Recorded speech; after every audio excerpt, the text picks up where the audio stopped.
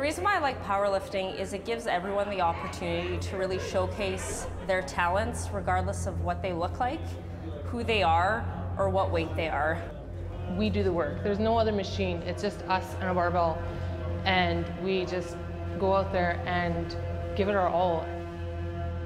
I think I powerlift because it is it's a pursuit that it challenges you in a lot of different ways, psychologically and obviously physiologically. Um, it's a very objective, it's very clear whether you got the weight or not. You're adding pounds slowly to the bar. There's always something to develop more, or something to work on, right? There's, there's, never, there's never a point where you're kind of, you know, done your progression, right? There's always something more to get better at. It does wonders for my pain, and I like having an outlet for um, anger, being upset, and anxiety. And it makes me feel like a whole person. I've never had such strong friendships with people. I never had friends really during high school and stuff, but here I have friends that I can count on, and it's an amazing community that brings everybody together. It gives me something that I can do to set goals and try and achieve them.